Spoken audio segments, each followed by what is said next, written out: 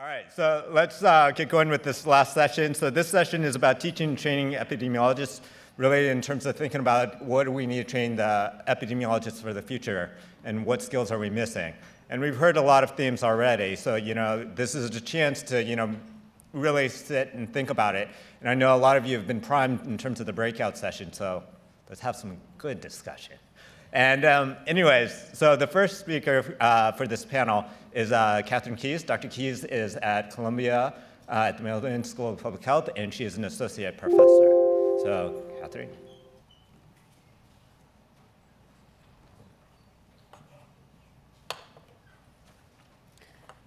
Thank you so much, and thanks for the invitation to speak on this uh, really exceptional occasion of the 100 years of epidemiology at this great university where a lot of my mentors have had their training, um, and I've really gotten a lot out of Johns Hopkins Department of Epidemiology, and so it's, it's really great to be able to present this. And I think a lot of what I'm going to talk about is um, reflects a lot of the discussion that I heard in the breakout sessions, and so I hope that um, some of my thoughts reflect you know, how, where I stand on uh, what people were talking about today. So I titled my talk today, Does Epidemiology Matter? Because in 2014 with Sandro Galea, I wrote a textbook called Epidemiology Matters. So you'd think that I should probably have an answer to that question. Um, our 2014 textbook was an introduction to teaching epidemiology, and in some ways was a departure from how introductory epidemiology is commonly taught, um, but in many ways actually a throwback to how introductory epidemiology used to be taught. The book stemmed from my experience teaching introductory epidemiology for many years at Columbia and the conceptual confusion a lot of my students would have when we tried to teach them methods that were from the predominant textbooks in the field. And I'll give you a sense of those methods here. Um, this is a very fancy pointer. Wait. There we go. I didn't, I didn't bring this myself. They gave it to me. So. Um, so this picture actually summarizes a lot of these textbooks, um, and it's a heat map of the location of core epidemiological concepts. So the x-axis here um, is uh, a, a, core concept in epidemiology, definition, history, cohort study, case control, et cetera. Um, and uh, I'm sorry, the, the y-axis is the concept, and then the x-axis is the relative placement in the textbook where a concept is taught. So as you can imagine, you know, the darker the square, the more density textbooks of epidemiology have. So, you know, most textbooks begin with definitions in history at the beginning of the textbooks. Most textbooks end with some sort of discussion of policy applications. And you can see there's some sort of variability, but there's a lot of um, consistency in where textbooks are teach our methods. So they mostly begin with infectious disease um, though there's some variation in, in where infectious diseases are covered and whether infectious disease concepts are included at all. They move on to basic concepts of frequency and occurrence. Then they move to each epidemiological study design as a distinct sort of chapter. You get your cohort study chapter and your case control chapter, and then you introduce bias and confounding, and you expand with a scattering of other sort of more complicated topics. And one could argue, and, and, Alfredo Morabia, I don't know if he's still here, but he has argued to me that he thinks that the reason that these concepts are introduced in this way is that they're similar to the historical development of the field, where first we had to handle infectious diseases and figure out how to measure the occurrence of disease. Then once we got a handle on that, we, could, we had to uh, confront you know, other kinds of more chronic diseases, and we had to design studies in order to address them, and then had to confront a more complicated array of sources of confounding. but the way we teach epidemiology is um, entirely different and much closer in theoretical synergy to um, scholars such as Miettinen, uh, who suggest that all epidemiological studies are variations on the same strategy to count cases moving through space and time. So there's no cohort or case control design, they're simply different points along a distribution of dynamic person time in which we can pluck individuals who have disease uh, uh, that we're interested in studying. So in researching and writing Epidemiology Matters, I began to see how the way in which we've traditionally developed our canon has led us down a particular path. And this path um, has new themes developing, which may or may not be intersecting. But they're germane to the question of does epidemiology matter? Because to answer the question, um, you explicitly need to know what you think epidemiology is. And this is what one of our breakout sessions today was, um, was devoted to. So here's my take on that. So when you ask people, what is epidemiology? A lot of people say it's the study of skin, sure. But when you ask epidemiologists what is epidemiology, usually you get answers that fall somewhere along the, these three lines. And they're not mutually exclusive, um, but you'll see people say that epidemiology provides a framework and tools to interpret studies as causal. Or that epidemiology, what, the, what our purpose is, is to provide policymakers with evidence-based recommendations. Or you could also, and, and, this came up today in the themes people were talking about, that another thing that epidemiology does is we generate scientific knowledge, right? We're scientists, we generate knowledge about the distribution and determinants of disease in populations. Yet underneath each one of these general statements is a set of assumptions and controversies um, that we have to consider before we come to a consensus about why our field matters. So let's consider those. On one hand, we have the gaining dominance of potential outcomes approaches to framing our research questions in order to interpret associations as causal. One central premise of the potential outcomes approach is that there are a set of assumptions necessary to interpret an association we get from our study as a causal estimate, right? So these include things like the stable unit treatment value assumption, consistency, positivity, exchangeability, and others. And what's come from that is that we all have to be much more specific about what research question we're asking, right? Are we asking a research question that has a causal, a potential causal answer to it? So the methodological developments in epidemiology resulting in this work have been very compelling.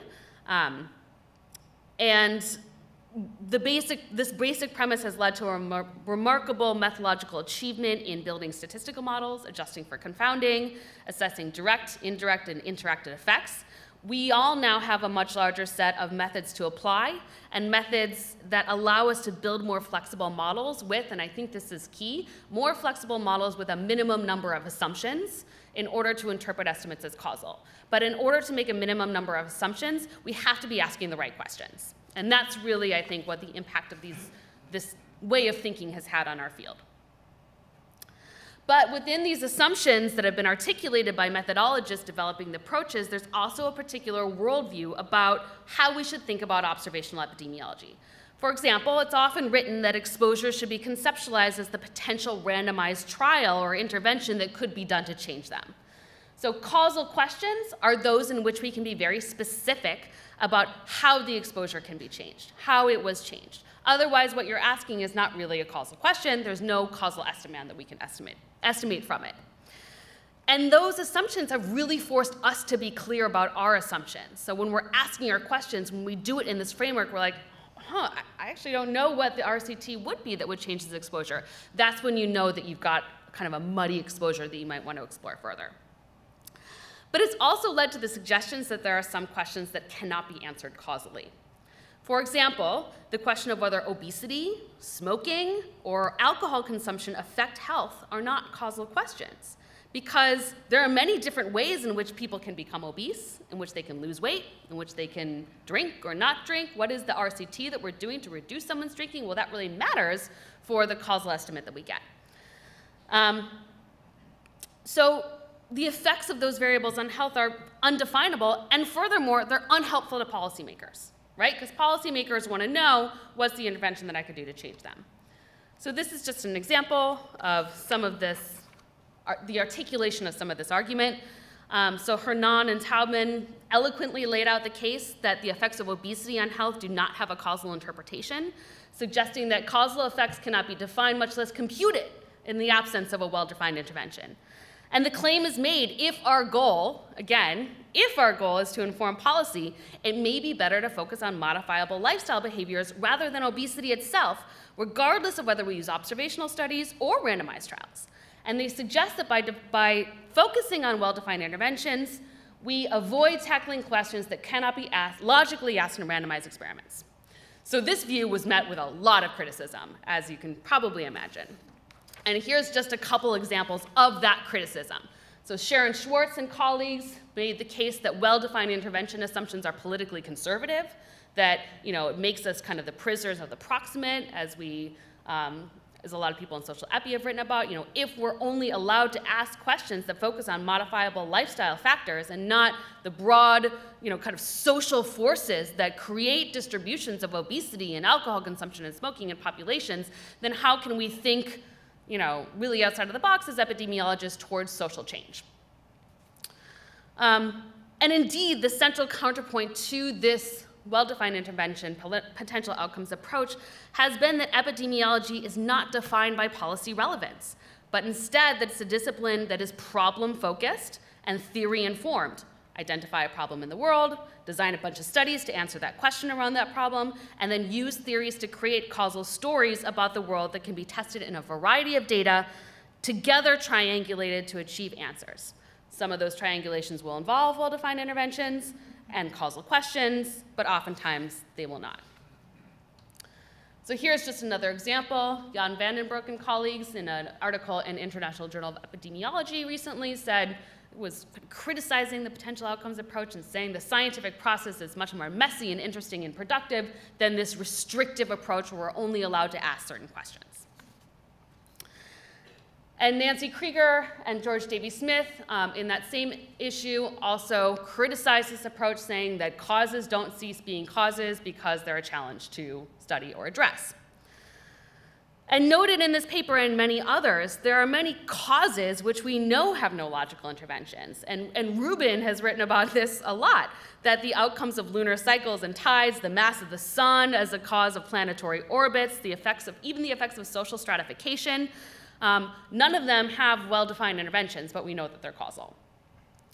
Uh, so we may know, for example, that racial discrimination is a cause of why some professors get promoted and others do not, even if it's mental gymnastics to consider the counterfactual of the totality of life as a racial and ethnic minority. The advocates of the potential outcomes approach would often answer, sure, of course we know that. Uh, but there's no practical intervention, and as such, it's not of interest to policymakers. What policymakers want to know is how do we get better diversity on our faculty? That's the question they want to answer. So you can study the effects of social stratification, but it's just not of interest and therefore not epidemiological. So these are all important questions. They're just not epi questions. They're different disciplines questions. The latter conceptualization tends to view epidemiology as a toolkit of designs and methods that answer causal questions, with causal questions being those that are defined by well-defined interventions with direct policy relevance. Now, if there's anyone who probably disagrees with that view, it's probably Ken Rothman, who's been writing about this topic for decades. Um, and so uh, he famously excoriated the rising tide of social epidemiology in the field by suggesting that epidemiologists should be free to pursue knowledge for its own sake without fear of being badgered about the practical relevance of our work. And so, as what Rothman has written about, in, in my interpretation, is that epidemiology is about discovery. Um, it's about applying the scientific method. It's about beginning with a theory, testing the theories, generating new knowledge about the world for the process of disease pathogenesis, regardless of whether there's a well-defined intervention, regardless of what policymakers care about. It's about discovering what causes disease. And in a controversial piece in International Epidemiology several years ago, they went a step further, suggesting that the mainstays of epidemiological design, such as representative sampling, are actually of little relevance to general statements about nature. And that if we are a science making general statements about disease pathogenesis, things like representative sampling not only don't help us, but actually hurt our scientific process. In this worldview, epidemiology is a discipline that seeks to understand phenomena and the underlying process of how these distributions and populations happen. And the practical goal of applying that knowledge to a specific population is important, but it's not science.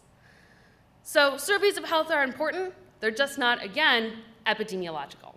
So different people in the field have this particular worldview about not what is important, but what is epi. But of course, there's several ironies throughout these controversies. Um, and one that was brought up uh, in the session with the journal editors um, was that well, we're all debating about the utility of well-defined interventions. Um, it's at the same time this discontent is brewing in clinical research because clinical trials continuously are non-replicated.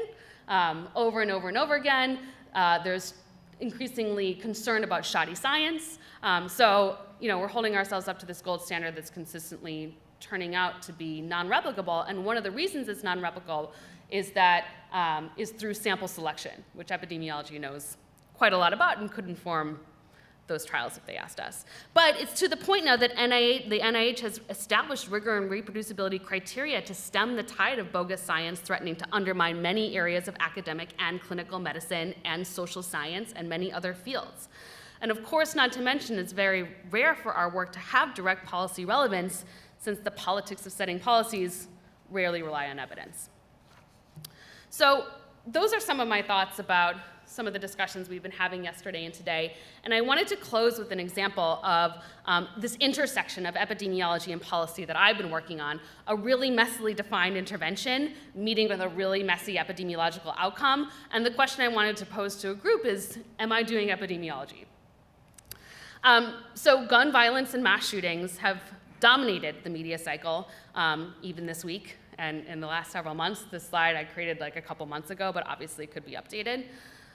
And when these events occur, the mental health of the shooter often becomes a focal point of the conversation. Debates ensue about whether to restrict Second Amendment rights based on mental illness, and especially um, what's often debated is whether we should expand background checks at the point of firearm sale. So it turns out that from 2007, um, the Virginia Tech shooting, to 2013, right after Sandy Hook, Mental health records went from accounting for from 7% of all federal gun disqualifying records to 28%. But the broader question is whether mental illness is the right target for gun disqualifications, and whether they will in fact reduce gun-related deaths at a population level. The efficacy of background checks based on mental illness to control firearm violence depends on a large degree on the extent to which individuals with mental illness are violent and or at risk for gun-related suicide. While psychiatric disorders and serious mental illness are among the strongest risk factors for suicide, the link between mental illness and interpersonal violence is much more complicated. Only a small proportion of intimate, intimate um, interpersonal violent behavior is attributable to psychiatric disorders, and people with psychiatric disorders are less likely than other adults to use a firearm in a violent act. But, so kind of taking aside the question of mental illness and firearm violence and putting at the forefront mental illness and suicide, for which there's a much stronger link and a much stronger evidence base, um, we can ask the question, well, for this risk factor, mental illness, that we know to be a strong risk factor for gun-related suicide, would restrictions on gun access to the mentally ill reduce the population rates of suicide, and how broad would those restrictions need to be in order to have a population effect? So gun prohibitions linked to involuntary psychiatric hospitalization are longstanding federal policy. The Supreme Court explicitly preserved such restrictions in its 2007 landmark case, DC versus Heller. But most gun-related suicide deaths have never been involuntarily, hospitalized. So that limits the, effect, uh, limits the effectiveness of point-of-purchase sale prohibitions. Um, some policymakers have called for expanding gun restrictions to include people with records of any psychiatric hospitalization, voluntary or involuntary. And there are a few states that have proposed even broader criteria, such as having any record of, psychi- of any psychiatric hospitalization in Connecticut, or even a record of any mental health treatment, the vast majority of whom would not die by suicide. So, observational data and modern causal inference methods simply aren't adequate to inform the debate about gun restrictions to the mentally ill. The data are not available. There's no randomized controlled trials that are ethical or feasible. States that have restrictions don't implement them in effective ways, and the implementation is very heterogeneous. States are not exchangeable or comparable for using causal inference methods to estimate causal effects. Loopholes for gun purchasing mean that individuals who want to acquire a gun can do so outside of point of purchase sales. And further, violence and suicidal behavior occur within complex systems in which individuals and their environments iteratively interact, which violates many of the assumptions of a lot of causal inference methods, which want us to answer causal questions with a limited number of assumptions. For suicide and violence, we have to make a lot of assumptions to estimate our effect estimates that we get from our observational studies or even our randomized controlled trials as causal. So we want to run this by simulating a population and using an agent-based model. Um, we simulated the population effects of gun restrictions on suicide um, for a broad range of gun restriction strategies, some of which had been enacted, some of which haven't been enacted, um, using an agent-based model with core dynamics shown here that include neighborhood characteristics, social networks, psychiatric disorders, treatment, um, we had a, uh, a, whole prison system that we built inside of our agent-based model, so agents would commit crimes, they would be arrested, um, they would be convicted with certain probabilities. They'd go to Rikers, this is in New York City, where we built our model. They were incarcerated for a certain period of time, and all through that time, their mortality rates, both from homicide, suicide, and all other causes, were shifting. They would be released back out into the neighborhood, and we calibrated the whole thing using available data, available data surveillance systems. Um, and these are actually just some of the layers in the agent-based model. We have actually whole other layers, including things like um, alcohol outlet density. We have police officers in the model that interact with people and stop crime. Um, so it's a pretty well-developed model at this point. And I just wanted to point out a few of our results to get us talking. So shown here, okay, there we go. Shown here is the, and this is the um, baseline rate of firearm-related suicide in New York City um, before, you know, kind of status quo.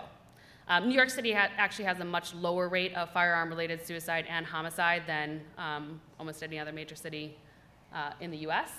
Um, but we disqualified people from gun um, ownership based on uh, whether the New York State Office of Mental Health identified them as having a psychiatric hospitalization. So this is kind of akin to what a lot of states are proposing to do. Um, and you can see that even though, of course, psychiatric hospitalization is a strong risk factor for a subsequent gun-related suicide, there's just not enough people with OMH psychiatric hospitalizations to have an actual population benefit for gun-related suicide. So among the high-risk group, we, pre we prevent, among people who had been identified as OMH psychiatric hospitalizations, depending on our simulation, we prevented on average 80% of subsequent gun-related suicides. But at a population level, we made no impact. In fact, of all of our interventions that we did, okay, there we go. Um, essentially, you would have to disqualify anyone who had ever had any history of mental health treatment of any kind. I mean, you, you talk to a psychiatrist for depression, you've just had your Second Amendment right restricted. Um, you would need to go to that level, which is not only probably unconstitutional, uh, but certainly would restrict the rights of millions of people who otherwise would not be a threat to society um, in order to reduce firearm-related hospitalization. And if you actually estimate the number needed to treat, you would need to disqualify 750,000 people in New York City um, from gun purchasing for each suicide prevented. So in addition to being unfeasible, it's also not equitable, right? Um, embedded inequalities, longstanding disparities in access to treatment would be replicated in gun disqualifying records, for example, while racial ethnic minorities have less access to mental health care and receive lower quality of care on average, rates of things like involuntary psychiatric hospitalization and civil commitment are higher, um, including in New York. And the extent to which such criteria would be used for gun disqualification, we would then be reproducing disparities over time. So the question I want to raise for debate is whether this was epidemiology. We addressed a public health problem, with a really poorly defined intervention, with variable implementation and problems across jurisdictions, for an outcome that is very complex, that's affected by multiple systems across space and time. But we actually demonstrated some of the foundational concepts in population health science, which is that there's limitations of high-risk approaches, and they're limited by, uh, in terms of population benefits, and they're limited by the size of the high-risk population. Um, and we tried to better guide policy um, by showing the bounds of plausibility of what you could do with this one type of intervention. So questions about what epidemiology is and how it's situated alongside population health science led me to write a, a second book with Sandro Galea, which was published in 2016. Um, called Population Health Science. And at its core, what this book tried to do and how we tried to differentiate ourselves from the discipline of epidemiology, which I think was a great discussion about, like, is this just rebranding? Um, I don't think it is. Um, but what we tried to demonstrate in that book was that what population health science is, is focusing on understanding the world in addition to intervening on it by explicitly defining no exposure as non-manipulatable, only our creativity and vision is non-manipulable, and social justice and equity must be at the forefront of our ways of approaching improving population health. So we were guided by theoretical writing and foundational scholars in the areas of community science and epidemiology. And in particular, with this centennial anniversary, I want to acknowledge the writings of Wade Hampton Frost, George Comstock, my own mentors, including Guohua Li, um, who were all uh, faculty, preeminent faculty in this department. And what we tried to do in the book was start a discussion about the foundational principles of a new discipline of population health science, new, new being old, kind of re-energizing a lot of the concepts from um, these scholars' writings throughout history. And, and an effort to energize discussion and research among epidemiologists for whom there's a disquiet about the fundamental assumptions and subsequent implications of current epidemiological approaches for community-based medicine and prevention. So what we talk about in the book are core tenets such as the causes of cases are different than the causes of incidence, the prevention paradox, the role of causal partners in producing population health patterns of disease that differ across geographic locations, equity and efficiency of interven intervention and return on health investments, and the very limited role of individualized prediction for understanding population health patterns. So it's with these principles that I try to guide my research and teaching and hope to discuss with all of you today. Thank you.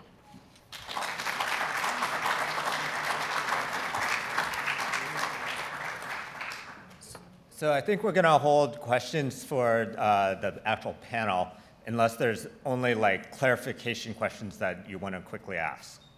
As okay, so we're good. So in terms of our next speaker is uh, Dr. Roberta Ness, um, who is uh, Dean of University of Texas School of Public Health and has was, sorry, and um, has published in uh, innovation as well as the future of epidemiology as well. Um, I have no slides. yeah, so she has no slides, so I'm just going to move this off. Okay. Thank you. Many of you, first of all, thank you so much for the honor of being involved in this symposium, which very appropriately celebrates 100 years at Hopkins Department of Epidemiology. Um, my title and theme is, as you saw, Training Inventive Thinkers in Epidemiology. And in keeping with that theme, I am PowerPoint uh, naked. so that may be surprising, shocking to some of you. Um, but it goes along with the definition that I use of innovation, which I believe is surprise in the service of health and prosperity. So I thought about coming naked, but I thought that was probably too much of a surprise. Um, but I am going to share with you a surprising revelation, this is no joke, that I have not previously publicly shared and that is um, that recently I failed big time, failed big time. Um, I have widely argued that revolutionary innovation has been slowing since the turn of the 20th century. Um, and I now, in thinking about it very deeply for a long time, believe I was wrong.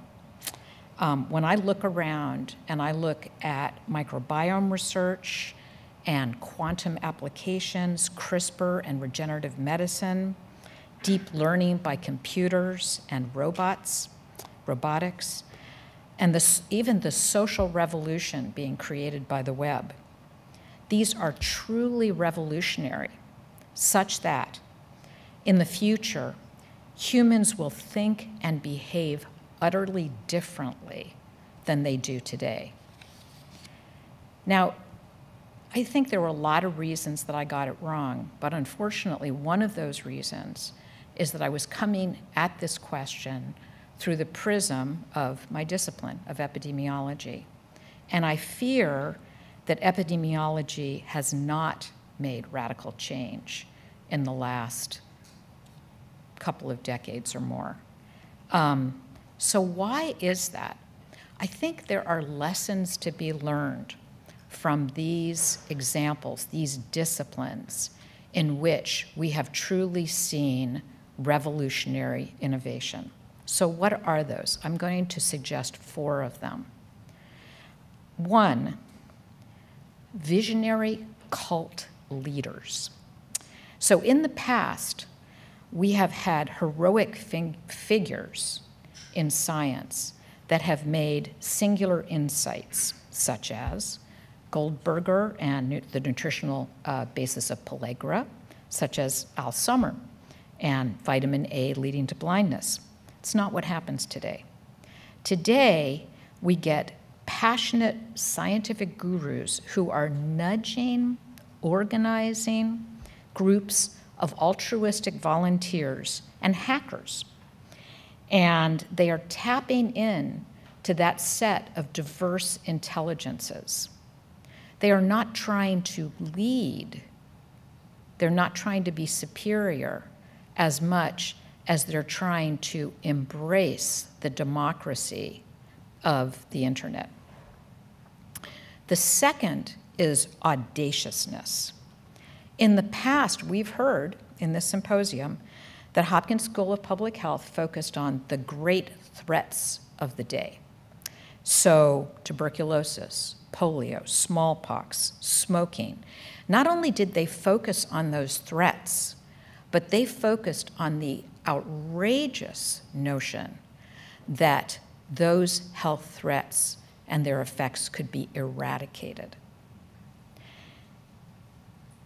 The biggest threats today, I would argue, some of the biggest threats today, I would argue, to health and prosperity are climate change, longevity leading to social and economic disruption, whether you like it or not, and global conflict.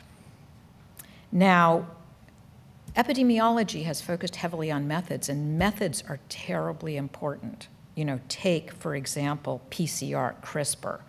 Um, I would actually argue that in some ways the process has been more impactful than the products.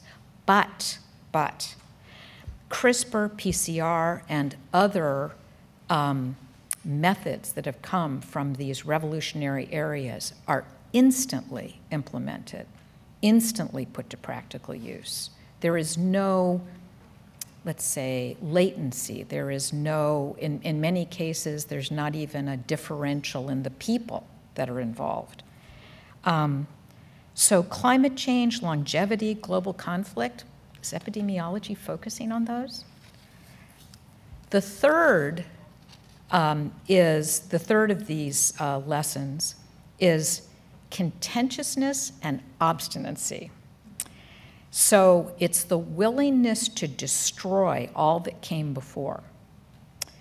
That's what revolutions are unfortunately about, or fortunately about. Um, in examples, the microbiome reverses fundamental notions of infectious disease such that microbes are no longer harmful and we don't control them necessarily, but in fact, microbes are symbiotes and they control us. Secondly, second example, deep learning reverses the notion that humans must program and manipulate robots. Now, Ray Kurzweil got this right. Um, a lot of people thought he didn't. But in, in The Singularity is Near, he predicted that robots would be creating future robots, teaching future robots, and learning, learning as humans do. And the sky's the limit. And the fourth lesson is fumbling. So, epidemiology believes very strongly in perfection. New areas see perfection as the enemy of the good. So, for instance, we don't see Apple uh, failing, refusing to release its new iPhone because it's not going to behave perfectly in every function. They are perfectly happy to put that new iPhone out, make billions of dollars and simply know that the imperfections are going to allow the population to race to get the next version of the next iPhone. So, the, the fact of the matter is, they do not wait for perfection. They act iteratively, and that not only is good enough, but it's very, very good. So, this is going to be short and sweet, but just to summarize, what have I said? I said in teaching the next generation of epidemiologists, particularly along the theme of innovation and creativity and revolution and true progress, what should we be teaching? We should teach them to be cult builders, audacious, obstinate, and fumbling. Now, many of you may see those characteristics as ones that we use to describe our political administration at the moment, but they are not characteristics that we value and that we feel compelled to pass on to the next generation of our trainees. So I believe that here are the things we should not be doing. We should not be teaching them to be overly focused. You know, how many of us have said focus? I have. I think pretty much every, every lecturer and faculty member in the room has done that. Um, we should teach them not to be humble. I saw up on one of the slides today, you know, we have to be humble, and we don't have to be humble. We shouldn't be humble. Um, we should teach them not to feel like they deeply need to understand something before intervening, and not even always that they need to apply the precautionary principle. It's pretty radical. Um, we should teach them not to keep research close to the chest for fear of losing priority. And we should teach them not to fear being advocates. We are all biased. We are all biased. And our advocacy is advocacy in the name of evidence based public health. And that's a good thing. Better that we should say that than somebody else comes along who doesn't know what they're talking about. So, this is a call to arms. Now, I admit my personal failure publicly. I'm willing to be humiliated for the sake of personal and professional growth. Are you? Is epidemiology? Thank you.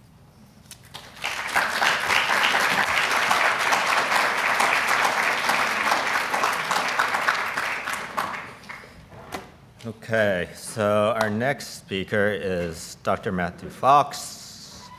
And Dr. Matthew Fox is a professor of epidemiology and global health at Boston University and is also uh, has a nice podcast called Free Associations for the students who don't know that yet. I highly recommend it. Thank you very much. Really appreciate that. By the way, please do uh, download the podcast. My mom highly recommends it.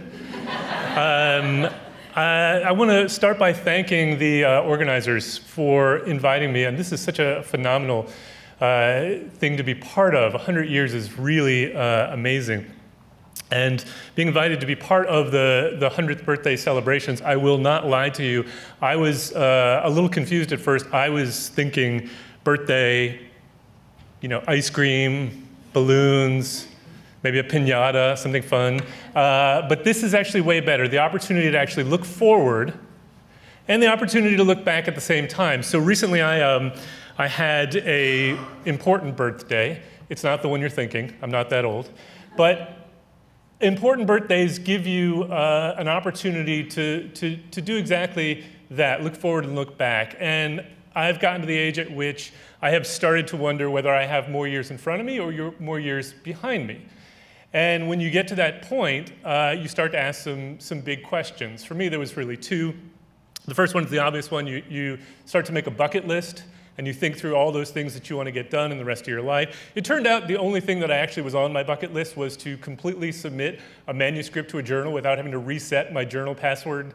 Uh, so that didn't turn out to be too interesting. But the, the other question, and the one that I want to keep, I want you to keep in mind during this talk, is I started to think about, well, if I could go back to another period of my life, knowing what I know now, would I choose to do it, or do I think that there's more opportunities going forward, and that's really what I want to see. And that's what I want you to think about as I uh, talk about what I think about uh, as the future of epidemiologic teaching and how we might think about what we want to do in terms of training future students, and in particular, I'm going to focus on doctoral students going forward. And so, uh, two, so if I learned anything from the, the talk yesterday by the Alda Center, uh, it was really two things. Uh, the first is that uh, epidemiologists have very differing views as to what a basketball is. But the, uh, the second point is that you should give the, the lead the take home message first. And so I'm going to do that, which is to say, I have two things that I want you to think about. The first is uh, that we live in an amazing era, an amazing time in terms of epidemiology because we are at the uh, conflation of two really, really amazing things the development of methods that are going to allow us to answer questions that we really never could answer before and to answer them correctly, and big data. And that is a phenomenal opportunity. But at the same time, what I worry about is that uh, we may be doing this, this focus on methods, this focus on big data, at the expense of some of the really basic principles of epidemiologic research um, that, that are going to be essential for us to be able to implement these novel methods in ways that we can get answers to the questions that we want. And the second point is that all the methods in the world are not going to allow us to answer a question if we don't know what the question is. We have to know what the questions that we want to ask are. We have to be able to ask them clearly in order to be able to get good answers. So first, thinking about novel methods. So how many, uh, by show of hands, how many uh, students do we still have left in the room? Okay, a good number of you, fantastic. Um, so I went through and just listed out, sort of off the top of my head, things that, that seemed to me to be novel methods. So we're in the era of the causal inference revolution and quantification of error and all kinds of novel methods. So just by show of hands, how many of you would say in your classroom experience you have learned at least half of these methods? How many of you would say? At least half of these methods. Okay. How many of you, by show of hands, would say you have implemented outside of coursework at least one of these methods? Okay, how many at least three? Okay, show me how many of you at least five? Ten? Okay, that's a, that's a real credit to you. How many of you, uh, by show of hands, just hate being asked in a lecture to raise your hand? Fantastic. Okay, the point here is that you actually are receiving phenomenal training if you have learned most of these things, and in addition to which, you've already had the opportunities to apply them. And this is, this is really fantastic. But I do have, uh, I do have some worries about this. So I really, there's two things that um, fundamentally uh, I worry about. The first is that um, I am, I'm afraid that we are teaching novel methods at the expense of teaching people how to ask good questions. And the second thing I'm afraid of is spiders. And I can get over my fear of spiders by myself, but if we are going to teach students to be able to ask good questions, this is something that we are all going to have to do together. And, sorry? And I think the, this was, was said incredibly well by our hosts in the, the uh, publication in, the IJ, in IJE, when they said the rise of causal, causal inference framework, counterfactuals, directed acyclic graphs, and newer analytic methods grew naturally as we aim to define and explain cause. However, are we so dedicated to perfecting the method that the science gets lost? And what I wonder is if we are getting this good at all of these different methods, are we training people to be technicians, people who can implement phenomenal methods? Or are we training scientists, people who can ask good questions and identify the method that is necessary to be able to answer that question? And I think ideally, we need to be doing both. And so, as I said, we've got this phenomenal opportunity. We're at a place where big data and novel methods are colliding. Um, and I said to you a minute ago, I have two fears. That isn't true. I've got many fears. Another one that I have uh, is that we in the era of big data and the era of novel methods have more and more opportunities to answer questions, and I think uh, someone said it yesterday in the video, to identify data sets that are so big that they can tell us the wrong answers. And we can become enamored of our data because it is so big. And so I think that we need to think very carefully about what it is we want to be asking and how it is we're going to ask it. So if we think about the way that we normally work in epidemiology, typically what we do is we go out, we do our studies, and then we do some sort of quantification assessment of random error. We have confidence intervals, we have p-values, whatever it is that you're using to assess random error. And then we get to the systematic error. Where do we get to that? We get to that in the discussion section after we've already drawn conclusions about our data. Right? We call this the confessing your sins approach, right? I tell you that I've done it, and therefore I can just move on and talk past it. Well, in the era of big data, random error is going to go away. And when random error goes away, systematic error becomes the dominant source of error. We become more and more confident in the wrong answers. And so if we don't think about ways to actually quantify systematic error, not just to discuss it, not just to think about it, but to think about total study error, we're going to end up getting the wrong answers, and we're going to get them with extreme confidence. And I think that's something we need to be really careful about. So uh, how many of you have read the, the Episcope paper? Has anyone read the Episcope paper? So this was like considered essential when I, I did my training, essential reading. And the basic idea is it's a model for thinking about how we view epidemiologic data. So the idea is that we are all the epidemiologist in the bottom right. We all have receding hairlines. And we are trying to answer a question on the top left. They've termed that agency because they wanted to make it all go in alphabetical order. But the idea is we want to answer some question. And we view the answer to that question filtered through a series of steps, through a series of, of uh, lenses which change what we actually observe when we're trying to get at cause and effect. So in the top left, you have what we're trying to get at. And then the next steps are all the things that you normally think about as the things that distort our ability to assess cause and effect your confounding, your random error, the analytic choices that we make. Then on the far right, you get to issues of inference and, and publication bias. And all these distort the picture of the effect that we are trying to observe. Novel methods, which is where I think we have rightly spent a lot of time focused, focus on everything from about B down to H and maybe I. And that's fantastic. We have gotten really good at developing methods to be able to answer these questions. But that only does us good if we actually know what the question is. If we're not asking the right questions and we don't know what the questions are that we are trying to ask, it doesn't matter how much distortion there is, the effects estimates that we get won't actually have the meaning that we want them to. So, in thinking about training, we have all these novel methods. We only have so much time in the curriculum to be able to teach students. And so we have to think very carefully about what is going to get crowded out if we're going to add new methods in. And this is where my concern comes from the idea that we are training technicians and not scientists. I'm not saying we're doing that, I'm saying that's my worry as to what we're going to do. Um, so, again, just by show of hands, how many of you have ever taken a class in how to ask a question? Ask a scientific question. A few of you. How many of you had, say, a lecture on it? Yeah, most of this gets often for us boiled down to a question. Now, there's different sides to this, right? On the one hand, we want to teach people how to think of good questions. But we also want to teach people how to formulate good questions. If that gets crowded out, along with all these other things that we're already missing, then I think we have to think really carefully about what it is we are training people to do.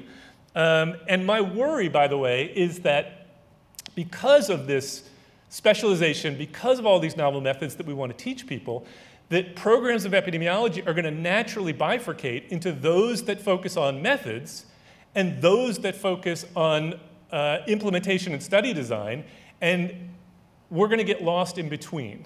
So I think we need to be thinking really carefully about what epi training looks like going forward, right? What do our current emphasis on methods crowd out? And I think it's some of the basics. I think we de emphasize study design in favor of analytic methods that we can use to solve problems. I'm not arguing we should get rid of those methods, but I am arguing that we need to rethink what the balance is in terms of how much time we spend on study design and how much time we spend on analytic methods. But fundamentally, for me, it comes down to whether or not we can train people to ask good questions. So, what do I mean by that? So, let me tell you a story about a student of mine. Uh, I know many people in this room do HIV research, but for those of you who don't, uh, let me just give you a little bit of background. So, uh, I do work on HIV in South Africa, where the big questions over the past decade have all been about when do we initiate HIV treatment? And historically, when we started uh, providing access to antiretroviral therapy, we rationed care by limiting to those who had very low CD4 counts. CD4 count is your measure of immune function, so essentially, we waited until you got sick, and then we provided you with treatment, and we hoped that that would bring you back. Okay? Now, over time, as more evidence was generated, many by people in this room, it became clear and clear that earlier treatment was better. And in fact, trials have now demonstrated that it's probably best to be initiating patients as soon as they're diagnosed. Call that test and treat. And that's been shown really convincingly with randomized trial data, but as we all know, trial data doesn't always represent what's actually happening in the real world. So a student of mine said, I want to look at the effects of initiating patients at lower CD4 counts compared to initiating patients at higher CD4 counts on their risk of attrition dropping out of HIV care. And so that was the proposal, and the student compared two groups of patients those initiating at low CD4 counts, those initiating at high CD4 counts. And lo and behold, we found that patients who initiated higher CD4 counts are more likely to drop out of care. And you could hypothesize that that is because patients who are initiating at higher CD4 counts haven't experienced the effects of the illness yet and don't have the same motivation to be engaged in care. Now, the problem with this is it doesn't answer the relevant question. In fact, to be honest with you, I'm not even sure what that analysis actually answered at all. The relevant question to a person who has a patient in front of them is should I initiate this, and that patient, let's say, has a high CD4 count, do I initiate this patient on treatment now, or do I wait until their CD4 count drops? Well, if I wait, Patients can die during the period at which I'm waiting. And therefore, if I choose to compare patients because I have data on them, some of whom initiated at high CD4 counts and some of whom initiated at low CD4 counts, I'm essentially answering a question of what happens if you initiate at high CD4 counts compared to what happens if you wait, have some unspecified magical intervention that keeps people alive to be able to initiate when their CD4 count drops, and see what happens right? That's not a relevant question, and in fact, it's not the important question. Okay, now the confession. That student was me, right? This is a mistake that I made because I wasn't thinking through how to ask a good question. This wasn't a fundamental part of my training.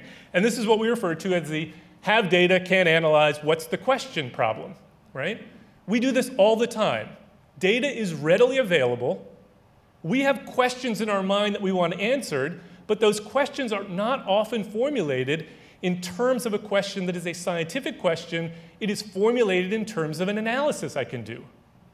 An analysis, a comparison of two populations, is not the same as a question. And so I actually share much of the concern that Carrie raised about this idea of hypothetical randomized trials, and yet I am still a huge proponent in this idea that if you want to do an observational study, first think through the hypothetical randomized trial that you would do if you could. If I had done that and designed my observational study to mimic the clinical trial that I would have done, it would have been immediately obvious to me that I had a problem, that I was doing something wrong, that I was answering a question that had no meaning. I'm not arguing that this is the end all be all. I am not arguing that randomized trials are better than observational studies. I have heard all the arguments against this approach. But fundamentally, if we are going to teach people to ask good questions, this is where we start. This is where I believe we start. And I do want to just add one thing to the, to the question about well defined interventions and obesity, because I, I agree this debate has gone into some, some strange places that don't necessarily uh, better us as a field. But I think there are some caveats to this that I think are important. And this is an example that, that came from uh, Maria Glymour. So if we think of obesity as just a, a, a marker for a series of pathways by which you can get to obesity, the things that we might want to intervene on are those things that might have gotten a person to the obese state in the first place. So we may want to intervene on diet. We may want to intervene on exercise. We may want to intervene on depression. Ultimately, we may want to intervene on genetics. But the thing to think about is that the effect estimates that we will get from observational studies which compare the obese to the non-obese populations are not the same estimates that we would get if we started to think about interventions that we would do if we could. And that isn't just because obesity is not a well defined intervention, it's also because those interventions will have effects on outcomes independent of the thing that we are interested in. And so if we think about exercise based interventions, there are pathways by which exercise will affect mortality that have nothing to do with obesity. And if we're going to think about policy relevant interventions and strategies and structures, then we need to think through these questions in a way that gets at the causal question we are trying to answer. So I think that we need to be very careful as we go forward to think about what are we adding to our curriculum and what are we taking away in order to make space for that. And I think the one thing that we have to make sure we don't leave behind is the ability to ask a good question. So I'll end where I began, which is to say, if we could go back to another time, to an earlier time, when we were probably better than we are now at the basics of epidemiology, would I go back? And the answer to that is no. I think we have actually gotten better. But my worry is that if we don't refocus ourselves, think very carefully about the questions we're going to ask and how we're going to ask them, at the expense of learning newer and more novel methods, I think ultimately we do ourselves a disservice. So thank you very much. Uh, I think, no questions? Thank you very much.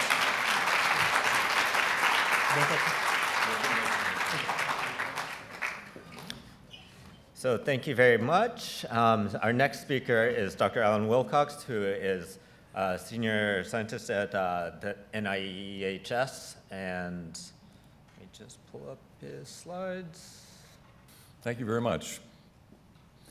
I want to thank the organizers for uh, inviting me to be at this session, which uh, is fun. I've learned a lot, and I'm not sure um, how much I have to contribute, but let me throw in my two cents worth.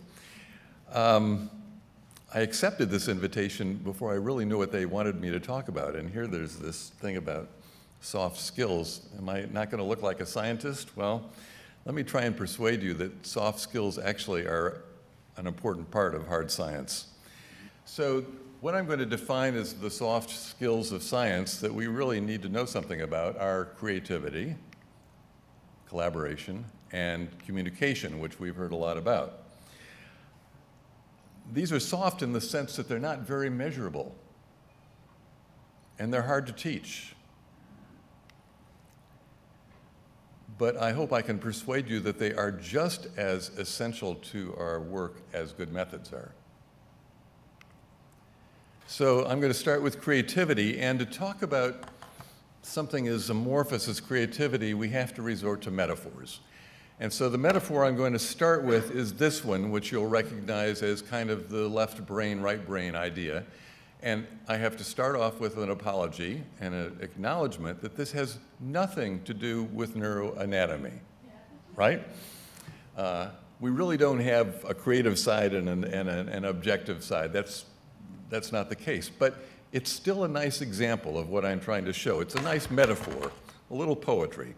So on one side, we have these subjective qualities of passion and intuition and spontaneity and obliviousness to time that uh, we associate with uh, with the creative artistic processes. And on the other side, we have a whole sheaf of qualities that actually we associate with science. And I think you'll agree that this is where we live. When we present our findings at a scientific meeting, when we write our results, we do our best to be as objective and logical and impartial and rigorous as we can. This is what's drilled into us, this is our culture. But I think one consequence of that emphasis has been to create this sense that there's a dichotomy here, that you're either a scientist or you're an artist. And we live over on the science side, and the other side is something we have to kind of ignore or repress, or uh, it's irrelevant. And so, what I want to propose to you is another metaphor altogether. I think this is not the right metaphor. I think we should think more in terms of this yin and yang. Two forces that define each other, that work together to make the whole, that are in this dynamic equilibrium. And then, in fact, we can't do good science without both sides of this. So, this, all this stuff on the right is where ideas come from. It's where we get our, our intuitions about science. It's how we discover new things. And if you don't believe me, I'm going to let you uh, take it from Einstein, who said there's no logical way to discovery. Methods are not going to do it. Intuition does it. We have to figure out what the right question is. What do we want to solve?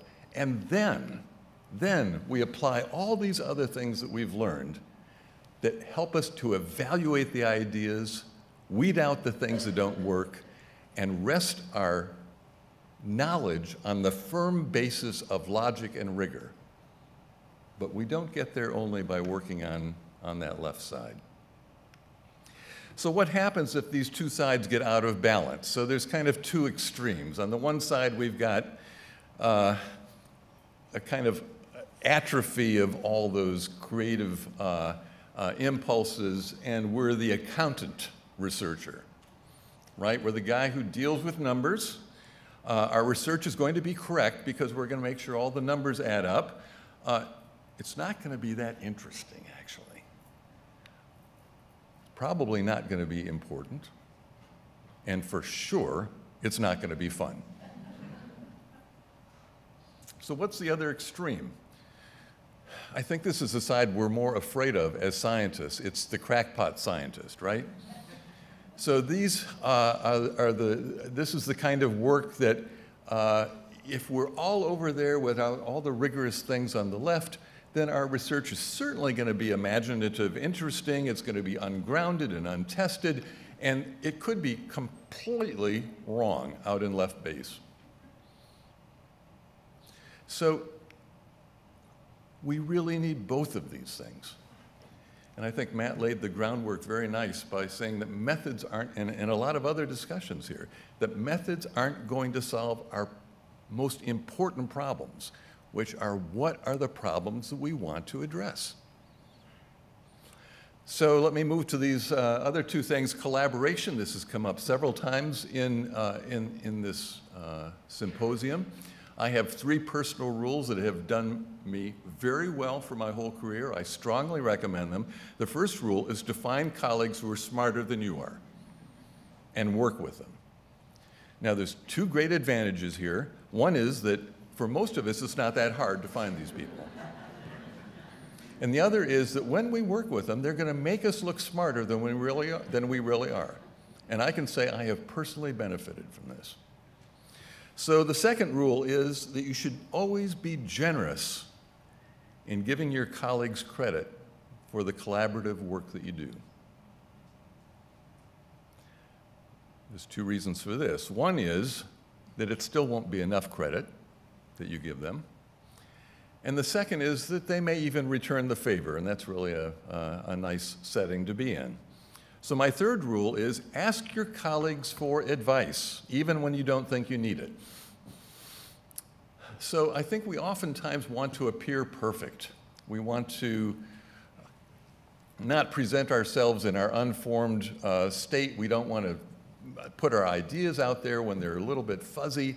We want to somehow get it perfect. The way to get it perfect is to share your imperfections with your colleagues, with the ones you trust, and let them tell you what the problems are.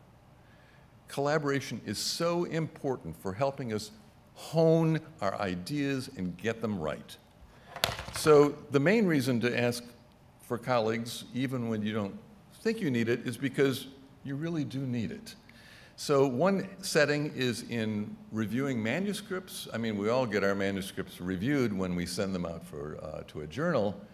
But if you can find colleagues in your own circle of collaborators who are willing to read your manuscripts, colleagues who aren't your co-authors, and to give you honest feedback, your papers will be much better. And of course, you have to return that favor. And the second thing here is you should always practice your talks. So I practiced this talk last week, and I got some really good suggestions that uh, I'm, I'm glad I got. Even a short 15-minute walk talk on, you know, something that's not all that complicated, this talk was improved a lot. So the reward of collaboration, and I hope I've, you've got the implication, is that if you can trust your colleagues and share with your colleagues and encourage your colleagues and give them credit, you can develop the kind of trust that will help you in so many ways, figuring out how your own intuitions uh, might come into develop into some good ideas, figuring out how to communicate clearly. So that brings us to communication. And uh, we've had a lot about communication in, in this session. I'm certainly not an expert on this. I've got just a few things to say about it. And the obvious is that, you know, data don't speak for themselves. We have to speak for our data. And we do it in so many ways. We do it in speaking, in writing, in pictures. We haven't, it hasn't been that much about pictures in this symposium, but um, being able to express our results compellingly and graphically is, is a huge advantage in, in getting our ideas across. So uh, first let me say something about in writing. Um, clearly you have to know what you want to say. You have to have a clear story. And being able to tell your results in a narrative form uh, is, is really a great advantage. And of course, saying it plainly. We had a nice illustration of, uh, with our uh, exercises about speaking in plain language. It's always good to get feedback from your colleagues, refer to above. And then this is about editing. So I'm, I'm an editor. I, you know, I, I did this for a long time. And uh, what I learned is that nobody's a good writer. Everybody has to work at it. Don't tell yourself, oh, they write good papers, but that's just because they have a gift for it. That's baloney. You ask anybody who you think is a good writer and ask them how many drafts their papers go through. So it's very important to revise, to revise, to cut. I think cutting is an important part of editing just because you need to get some of the chaff away so you can see the, the core of things. And so when I was an editor, I came with, up with this philosophy about editing that is like a good haircut, that it makes the stuff that's left over look better. So don't feel crushed when your colleagues reading your paper saying this whole section needs to come out. Figure out a way to make it work in pictures. So I have, um, we haven't talked about graphics, and there's, there's a whole lot to say here that uh, I'm not even an expert at. But since I saw a lot of uh, figures as an editor and tried to help people make them more clear, I'm going to give you my 60 seconds of instructions how to make your graphs better. So I'm going to start with a graph, and this is showing um, this is the, it's hard to read, it's, it's, a little bit small, but it's showing the cumulative uh, uh, age of puberty for boys compared to girls. That's age on the x-axis and uh, the cumulative distribution on the y-axis. So what can we do to make this better? So there's one very curious clue I'm going to give you, and I don't know why it, it works, but somehow graphs almost always look better if you can make them squarish. Don't ask me, it, it works. So now let's think about how we can improve the structure of this thing. Um, so, you know, first of all, color. Color is great for decoration, but you shouldn't be decorating your graphs. If it's for communicating, that's fine, but otherwise, get rid of the colors that aren't important. Um, there's a lot of stuff here that's unimportant, like all of these horizontal lines in here. I mean, really. Uh, oops, I didn't mean to do that. So um, you, can, you can look at a graph and say, what's really essential here? Let's get rid of the line at the top and all the horizontal lines. Let's, we don't need to have the half uh, year marks on the x-axis. And why do we have a little key for these two lines? I mean, why do we have to go back and forth between a key and the lines to know what they are? Let's put the labels on the lines. Let's simplify things here. So now look how much I've gotten rid of. There's no color, there's no extra lines. The labels are right on the lines, and there's only one more thing to do, and it's the most important thing of all. Do you remember I started out saying, now this graph is kind of hard, but let me show you what's on it. How many times have you heard that said in a lecture? It drives me crazy. If you can't see it on the slide, don't show it. Make the fonts big, make the graph simple, and make it completely readable. So now we're going to compare these two. On the left, you've got uh, a graph like many I saw as an editor. On the right is the kind of graph I'd like to see as a reader, something I can glance at and say, oh, I know what that says.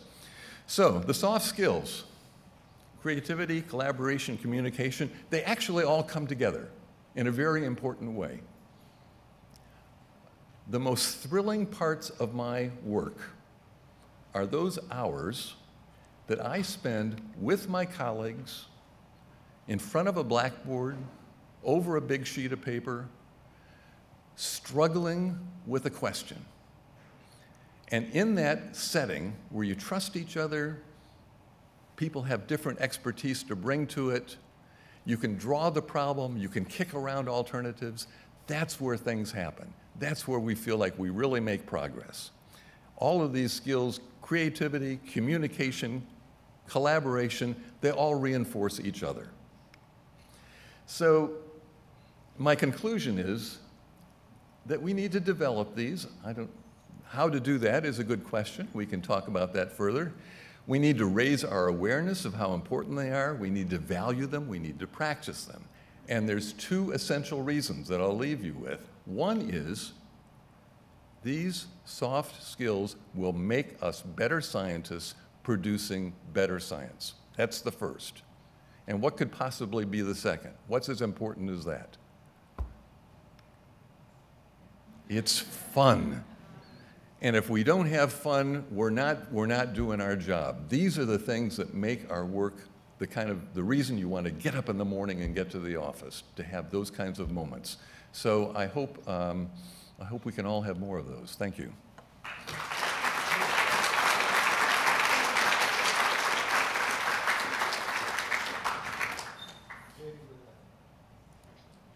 Okay, so our last speaker is uh, Dr. Barbara Mahon, who is Director of Division of Bacterial Sciences at uh, CDC.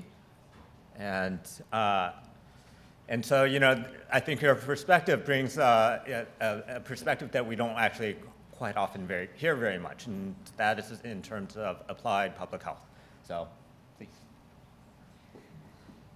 Hi. Um, happy birthday. Um, I've been thinking about whether to tell you my favorite epidemiologist birthday joke, and I guess I will. Um, uh, I have a friend who, when he turned 50, his epidemiologist friend said to him, Isn't it nice to know that you're no longer at risk for premature mortality?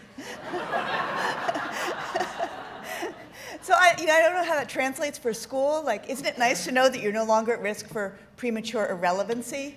You know, not that you ever were. Um, this is such a, an amazing place, and it's fantastic I mean, I'm just um, thrilled to have been able to spend this day and a half with, with you and, and to learn so much about Hopkins. I'm, um, it, it, it's, uh, it's kind of the mecca. So, uh, so thank you. Um, I'm the, I, work at CDC in the National Center for Immunization and Respiratory Diseases, where I'm the director of the Division of Bacterial Diseases. And um, as all of you know, CDC um, does surveillance, outbreak response, a lot of laboratory science, and a lot of epidemiologic science, all in the interest of developing evidence-based information, um, evidence, uh, to inform good policy decisions. And um, Brian asked us uh, all, I want to say that I'm the only one of this group that has actually followed the direction, right? to start our talks by, by ask, ask, answering the question of what do epidemiologists bring to the multidisciplinary table? Well, at CDC, epidemiologists are really, um, in many ways, the, the hub, the foundation, the center of, of the organization. Um, and our work is inherently multidisciplinary, um, but I do see epidemiologists as being the hub of that circle. And that's because epidemiologists have the ability to talk with, understand, translate the, from the clinical sciences, the physicians, the veterinarians, the dentists, the data scientists, the statisticians, the programmers, and also the, the, the third hand, um, the policy and communications people. So the epidemiologists, I think more than any of those groups, um, are at high risk for being able to actually do the translation between all those groups that we need um, to do our work well. There's another thing that epidemiologists bring that let them, when, when they're doing it well, um, serve that hub function um, uh, in a way that really serves the public. And that is that epidemiologists, uh, to a greater extent than any of those other disciplines, have a deep understanding of bias in all its forms, how to sniff for it, how to find it, how to understand what its influence is going to be on the results, and how that affects what conclusions can be drawn from the work that's been done. Um, so we need epidemiologists and that epidemiologic thinking to kind of keep us on the right track. Uh, as I was talking with one of my colleagues about this, he said, the epi has to be the sheriff. And, and that's, that's, that's right. We, we need the epidemiologists to be the sheriff who makes sure that we stick to the straight and narrow in the work that we're doing um, to serve the public health. Uh, uh, the challenge, though, is that what makes a good applied epidemiologist isn't necessarily exactly the same thing as what makes a good academic epidemiologist, and it isn't necessarily exactly what epidemiologists who come to CDC have learned in their training. Uh, you know, we have every year um, uh, about 70 or 80 uh, epidemiologists come into the Epidemic Intelligence Service, many of them from Hopkins, and um, they arrive eager to apply the methods that they've used, the, the sophisticated um, approaches that we've um, um, been, been talking about over the last day and a half. And um, they often realize when they get there that although those methods have value, they're not necessarily what's needed for the problems that are facing them. And so the, the reason that, um, so I, on this next slide, I'm going to show you some of the EpiAid investigations over the last several years that um, EIS officers have gone out uh, into the field um, to do. And what you see in these, um, just, the just from the titles of these um, uh, EpiAids, is that often these are problems that need an urgent response. They, they are, they're, they're, they're time, um, time urgent um, situations where we need a good answer fast. And that isn't necessarily, the, the epidemiologists often find that they need to learn some new skills in order to be able to do this. So um, I um, gave a talk about um, gaps in doctoral training for applied epidemiology at SER, and that Brian heard, and I think that's why he invited me here. For that talk, um, I decided that I would pretend that we were the CDC Department of Epidemiology. There is no such department. Um, and that we would design a course. I would design a course on what you would need to be a good um, applied epidemiologist at CDC. And to prepare for this, um, for this uh, to, to, for this course, I talked with a bunch of my colleagues, most of whom are EPI PhDs, about the things that they felt that they needed when they got to, C, to, C, to CDC and what they felt like incoming, newly minted doctoral epidemiologists um, needed that they, had, that they didn't already have. And this is my um, uh, curriculum advisory committee. Uh, a couple of the faces dropped off. I'm not sure why. Uh, this is, so this is some, but not all, of my um, informants. And um, I don't know. I have a special prize for the person who can choose, pick out the recent Hopkins um, graduate from this uh, group of faces. There's at least one here. Um, these people uh, work across multiple different areas in, at CDC. I've listed them on the right. Um, they finished their PhD anywhere between two years ago and 25 or more years ago. You can see it's a little bit um, skewed towards infectious disease, that's because that's where I work. Um, but it's not exclusively infectious disease, and I heard the same themes from people across all uh, types of, um, of areas.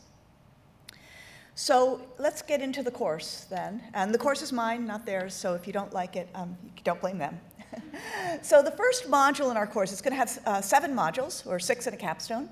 The first is going to be on surveillance. How do we know what the problem is? Surveillance is, um, to a great, very large extent, what um, applied public health at the global, national, state, local level uses to know what the problems are that are affecting the population and to know where they should be focusing their work. Every single person I spoke with said that they had not learned enough about surveillance in their doctoral training. So in this module, um, we will focus on surveillance as a science in its own right. We'll talk about active surveillance, passive surveillance, sentinel surveillance, laboratory-based surveillance, how you um, select a surveillance approach for a given problem, the pros and cons in terms of speed, sensitivity, timeliness, of um, cost of different approaches to surveillance. Why the approach that you would choose if the goal of your surveillance is to detect outbreaks is different than the approach you would choose if that's not the goal of your surveillance. Um, so that, that's going to be our first module. Here's um, some examples of um, stuff that's in the news from um, recent, um, recent re CDC recently in the news. And you can see in all of these cases, it's basically, it is surveillance data. The next module, and um, Matt, I know will um, come in as a guest lecturer for this one, is how to identify a consequential question, or you know, what, why does what you are going to do matter? Um, the director of the EIS program emphasized to me that he spends an inordinate amount of his time talking with trainees about this because so often they look at, well, what can I do? I can do an analysis, I'll do it, and haven't thought about why would it matter. And his point is that you need, really need to know, even before you start doing it, what, not what the results will be, but what the action would be taken on the basis of the, the, the set of possible results. And if you can't answer that, it's not worth doing. So my favorite example about this is um, of an inconsequential question was um, an EPI that was done in response to a, um, it was an act of domestic terrorism a while ago. I won't tell you which one. And um, somebody went out and did an investigation and came back, and the main result was that the closer you were to the explosion, the more likely you were to get hurt. it, I mean, now, a few years later, there was another one of these acts, and the investigation showed that basically the, the association of sleep deprivation with injury among responders. Now, that's a, a question that's worth looking at. You can do something about that. You know, telling people don't be close to where a bomb's about to go off isn't very helpful. So, um, yeah, so that's module two. Module three, get to know your data. Uh, it's probably dirty. So, this is a, intended to sort of extend the training that um, uh, epidemiologists have had um, in their doctoral programs, where typically the data sets that they use are extremely clean, very well documented, and pristine. They really don't need to question whether the raw data are correct or not. Um, that's not always true, but in, in applied epidemiology, it's, it is always true that it's, that, it's, that it's not true. It's always true that the data are dirty. We, so in this module, what we would do is we would have students um, think about collecting their own data. What are you going to need to collect to answer the question that you need to answer? And how will you collect it to make it easy for you to analyze it um, when you get to that point. And then we would also have them look at using existing data and thinking about what was the process by which these data were generated, what are the gaps, missingness, bias, systematic error that are likely to be introduced by that process of, of data collection. And we would also have them spend some time manipulating it, creating new variables, merging data sets, and, and so forth. Again, I think I could get Matt to come be a guest lecturer for this one. Next is choose appropriate methods. And um, I'll say in my world, simpler is often better. So I think that there is, um, I've heard, and I'm very intimidated by, uh, a lot of discussion about the, the new methods. And I think it's, I, I, what I'm going to say now, I'm not in any way um, disrespecting or devaluing the sophisticated methods that have been developed in the field over the last um, you know, 10 or 20 years. They're enormously valuable in the right place. But very often in my world, it's not the right place. So for us, simple descriptive analysis is often what we need to understand the, the problem. Um, and yet, I, I, I notice, and, and, my informants have noticed, that um, people arriving at CDC often almost feel embarrassed to say that they're doing descriptive analysis, as if that's so unsophisticated that it's not, um, like you just wouldn't even want to own it. So I think that um, I'd like to see descriptive analysis get some more love. Um, the other sort of side of this is um, that often what we need is a fast and good or not wrong answer, but we don't necessarily need enormous precision. And I'll give you an example of this um, that's sort of one of my favorites, but it, it, would apply to almost any outbreak. So you'll remember there was, a few years ago, there was an outbreak of fungal meningitis that was associated with contaminated steroids that people were having injected into their backs and knees for, for back pain. Well, you know, the true risk ratio in that situation, you know, for having developing fungal meningitis and get, getting injected with this contaminated stuff, you know, was probably, I don't know, over a thousand, over 10,000. I mean, you know, inc- incredibly high association between that exposure and that outcome. It doesn't matter to us what, that, what the magnitude of that association is. What matters to us is that we identify the vehicle so it can be taken off the market. So we can tolerate a lot of bias in control selection, and we can accept really flawed controls because they're very unlikely to keep us from identifying the vehicle.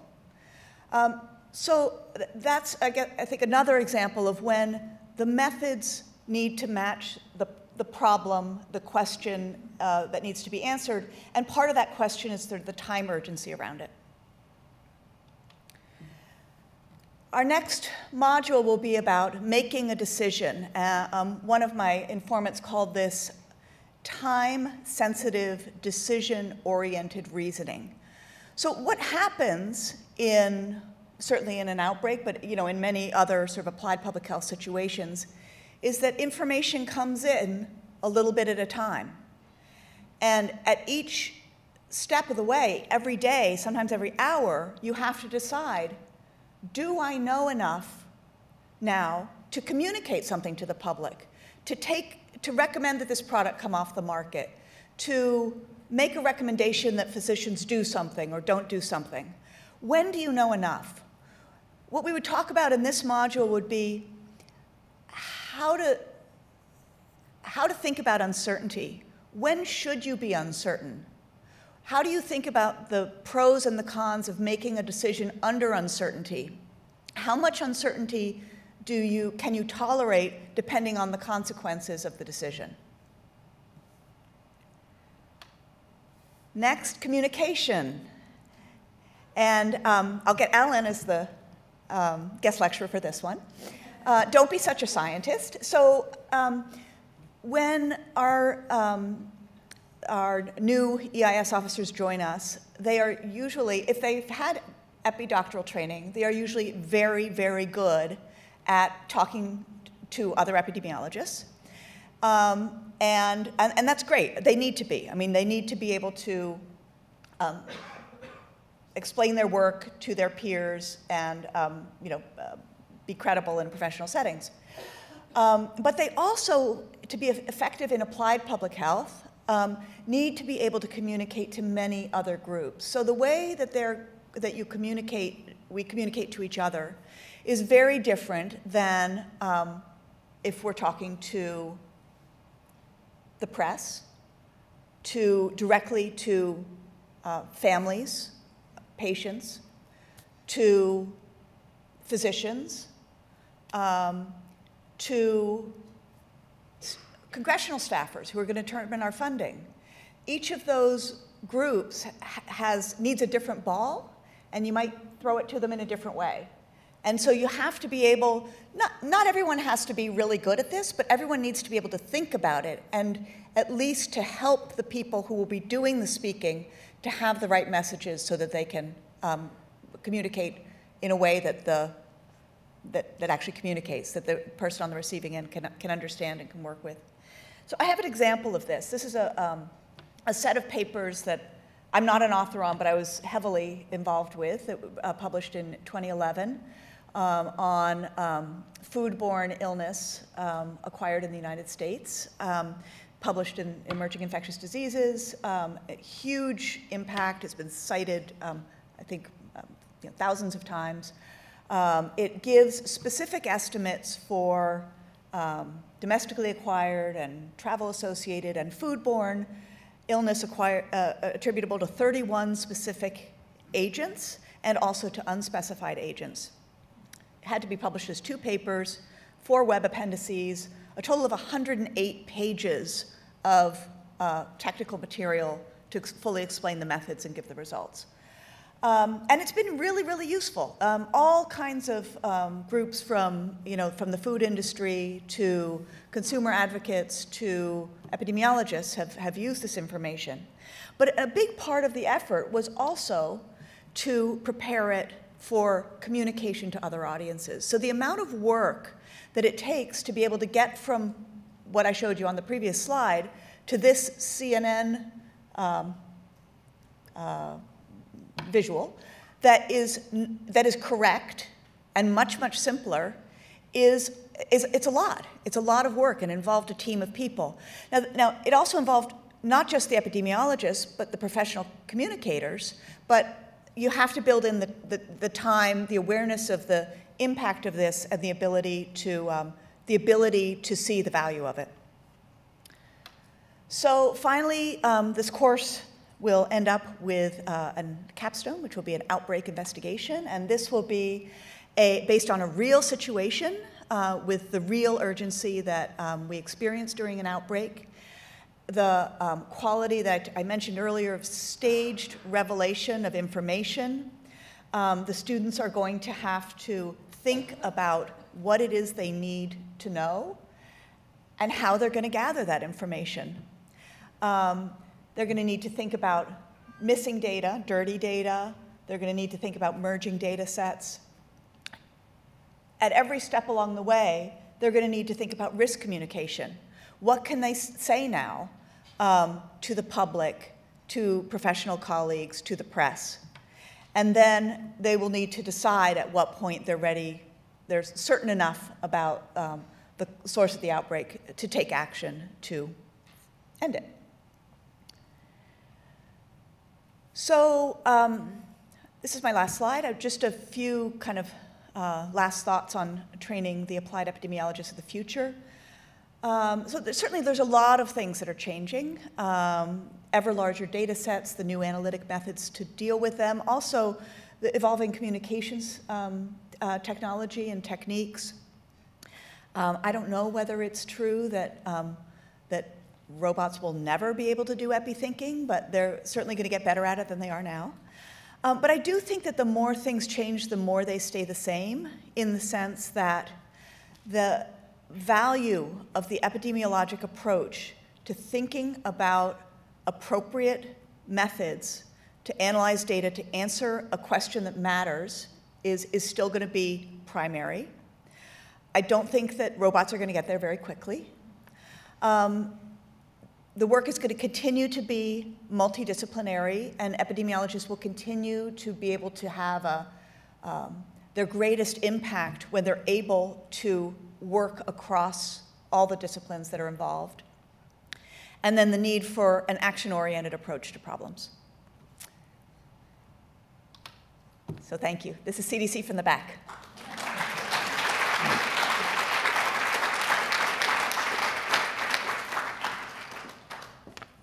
Thank you very much. So uh, now we're going to actually go to having a panel, um, and so hopefully discussion. So I'm going to ask all the speakers to come up to the table. Um,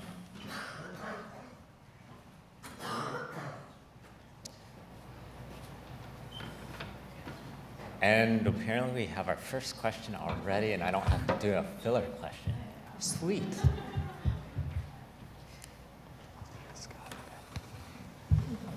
Let everyone sit down.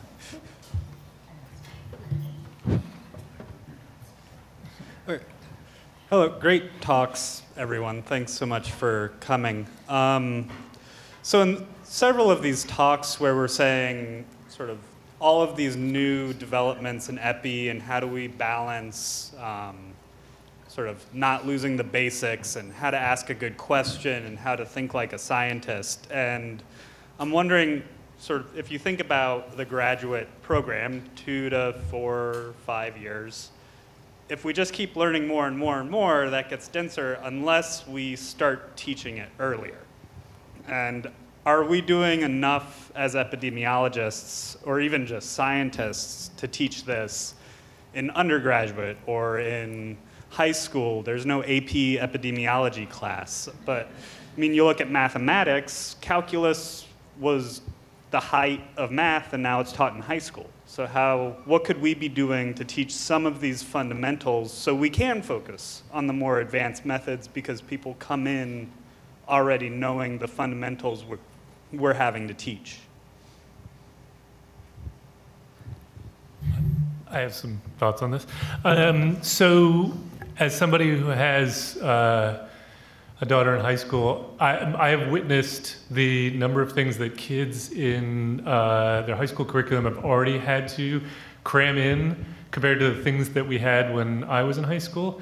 Uh, and so I'm not totally convinced that we, we necessarily are going to be able to go that route of getting it earlier and earlier.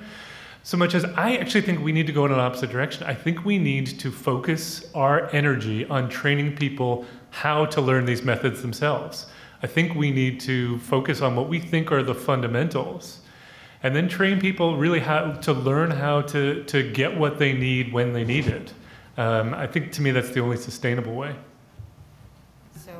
Just going to piggyback on that because I was going to answer the question in an incredibly similar way. Um, I think that graduate training is really about teaching people how to think. So, um, you know, Allen talked about creativity and can it be taught, and all you have to do is listen to a couple of TED Talks I've done and go to the free online course on the edX platform. And actually, we have data that proves that we can increase people's creative thinking by two to three fold over the period of a semester over curriculum. So um, I think it's really about, again, teaching people approaches, how to think, how to ask the right question, how to be creative, how to be rigorous, et cetera. And then the skills, the specific skills, you know, don't be in the woods and get lost for the trees. Um, those really are things that we can teach people how to pick up without spending all of our time in the curriculum doing that. So I agree. So I think I have the same answer from a different point of view. Um, I, I, talked, when I was talking with these dozen or so colleagues at CDC about, well, how would you fit this in, right? It's not like, um, it's not like doctoral students are, are, you know, sort of sitting around, you know, eating bonbons in the evening. Um, and, and what, the, what, what they said, uh, and what makes sense to me, is that um, they said they would have been fine with having one less advanced methods course and um, more sort of surveillance that sort of applied epi um, content that, that I was talking about. And um, obviously that's not for people who think they want to go and you know, be, become methodologists. It's for the people who think they want to go into applied public health.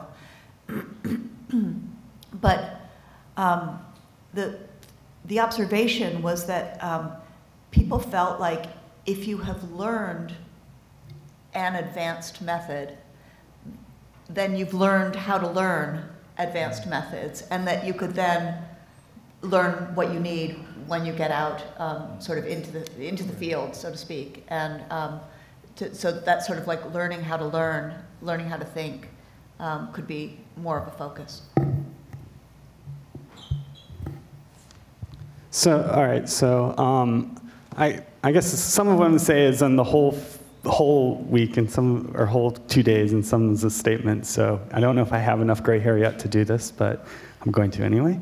And Dr. Mahon took some what I say, but you know, as a lot of the conversation that's been happening over the past two days, as an infectious disease epidemiologist who focuses on acute infectious diseases, I feel kind of left out.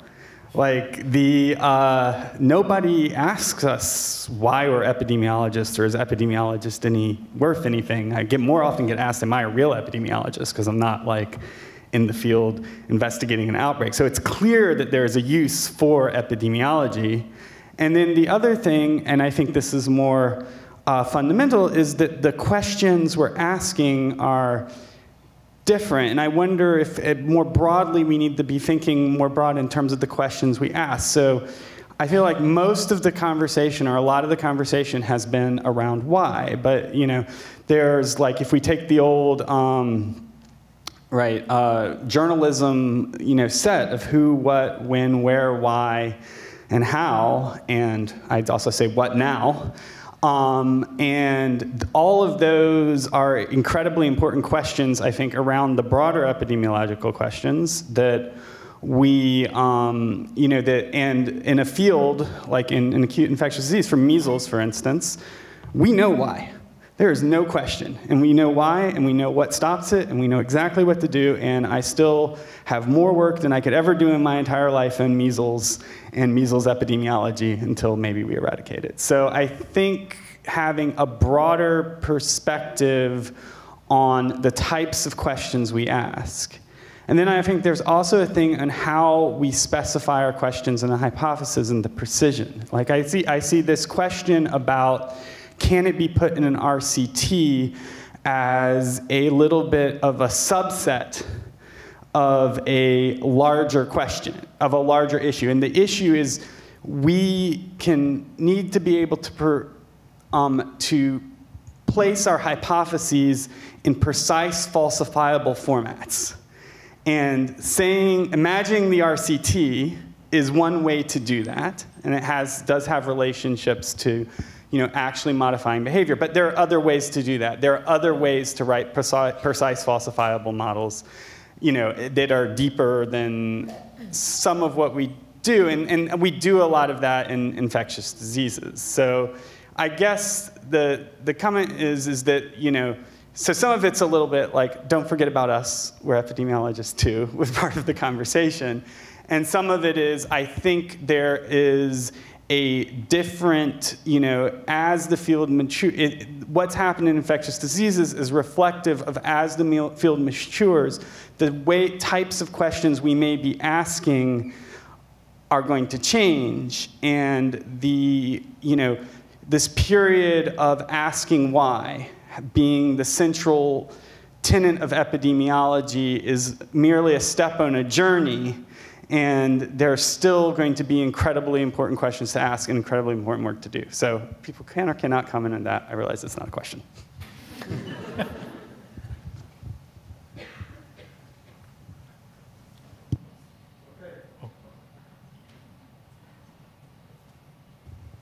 Now, throughout our discussion, whether it was in the breakout sessions or in your presentations, we talked about basically epidemiologists as a scientist, except for your last presentation, Dr. Mahon, which came from a perspective of epidemiologists as a professional. Training a professional or teaching a professional needs two things. One, a broad paradigm that you try to develop through your course model of what does the paradigm of developing an epidemiologist require? And within that paradigm, what are the specific competencies? I still hear that people are talking about skills. Competencies is what we need to train people. That's what we need to have people to go through. Competencies are specific job job description items that people, when they go out, they should be able to do. That's what, I haven't heard that the word competency throughout this discussion of training in epidemiology. And the first effort that we did in, in developing competencies in epidemiology goes back to about 30 years. We started at this school. Now, one more thing which also takes me back to uh, what was said about communication. Uh, and that Dr. Wilcox, um, you mentioned about the two, the yin and yang. Um,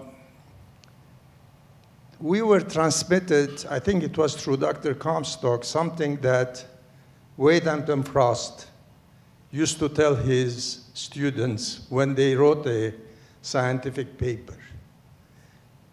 They said, he, he said apparently, read that paper again. If you find a sentence in that paper that is really beautiful prose, delete it. because that's not scientific writing. And Allen, you just negated that, and good for you.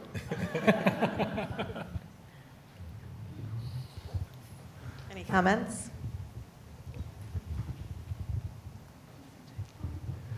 All right. Thank you for. Uh, my name is Sanjay Bae, and I'm a fourth year PhD student in this department.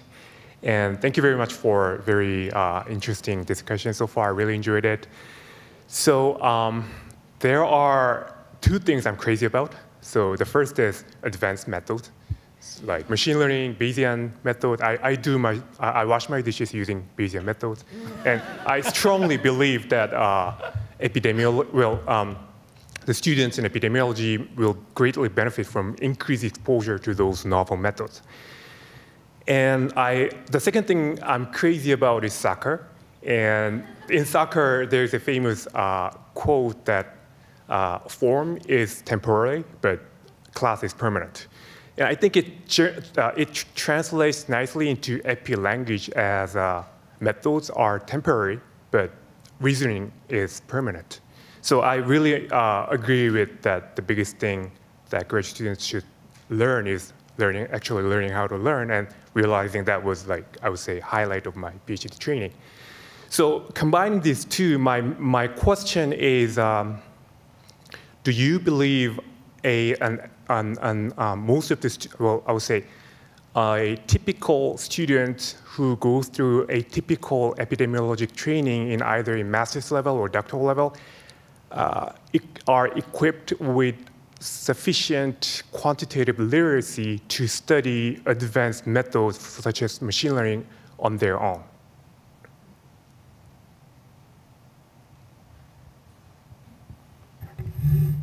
No. Um, I, I, I, I mean, obviously, I don't want to speak for uh, all programs, but I would certainly say that I think at the the master's level, probably not, but I do think that we could put more emphasis on that, and I do think that we, in programs that are doing really well, are thinking a lot about how to train people to be self-learners. But I, but I don't think it probably at the end of a master's program you're really going to necessarily be able to do that. But you know what a good master's program should do is should should set you on the pathway to your first job where you get mentorship and you'd have opportunities to be able to learn from people who could you know do some supervised training for you. But i think really it's probably the doctoral level at which we are really going to be set people on that course to being able to be self-learners in things that are quite complex. So, The, um, the other thing I would add to that is I think it it comes to the point that Allen made about making friends. You know, like for my students, we don't teach a class in the EPI department on machine learning, but I had a student who really wanted to use it for a particular research question, and I said, "Oh, hey, I have a whole bunch of friends who can help you with that."